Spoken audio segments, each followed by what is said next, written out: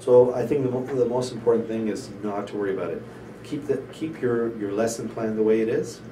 Start thinking about adding some, uh, you know, some outside the box components to it where you can, where you can kind of encourage students to search something during the class. You know, anytime you have discussions in a classroom, it really adds to the discussion because you have the mobile devices.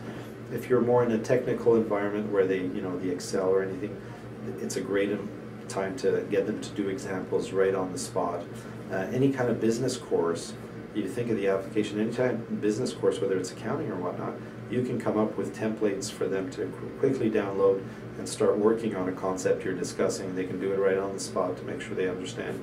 It's classroom management, and it's the same classroom management that it's always been. Uh, the difference is they have more gadgets in front of them than they did in the past. Uh, when I lecture and I don't want the students to be a, uh, looking at their uh, their laptops, I just tell them to shut their laptop and we have a discussion. And that's, it's as simple as that. Um, and when we want to use it, they open it up. A lot of them take notes with it, and, and it works really well.